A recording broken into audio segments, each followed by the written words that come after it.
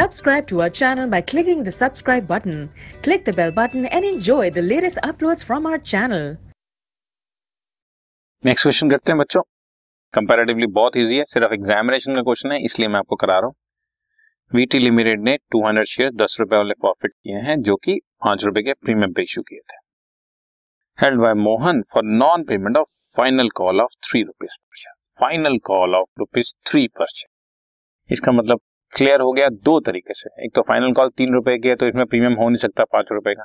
दूसरा क्वेश्चन में कुछ न बताया हो तो हमेशा premium at the time of allotment ही होता है। तो हर तरीके से क्लियर हो गया कि प्रीमियम हम रिसीव कर चुके हैं। सो तीन रुपए की फाइनल कॉल रिसीव नहीं हुई।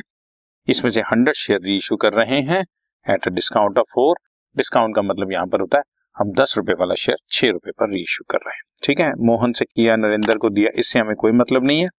हम लोगों को तो सिंपल एंट्री पास करनी है शेयर होल्डर के नाम से हमें कोई लिंक नहीं होता। Share capital debit to share forfeited to share final call two hundred share forfeit किया I think yes two hundred share दस रुपए ईच टू हंड्रेड शेयर जब फाइनल कॉल मंगवा लिया तो इसका मतलब फुली कॉल्ड अप हो गया। और इस पर तीन रुपए की फाइनल कॉल नहीं आई। सिक्स हंड्रेड बाकी फोर्टीन हंड्रेड हमें रिसीव हो गया था बच्चों प्रॉफिटेड में आ गया। अब रीइशू कर दो बच्चों।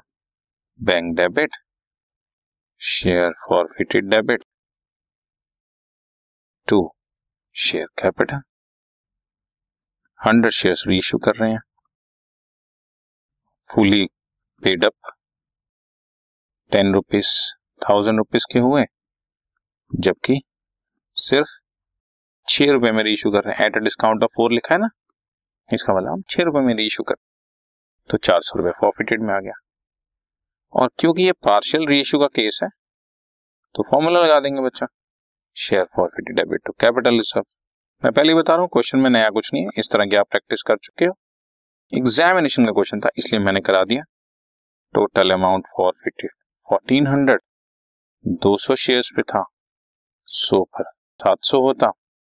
चार सौ at the time of reissue आपने डेबिट कर दिया है। बाकी थ्री हंड्रेड आपका।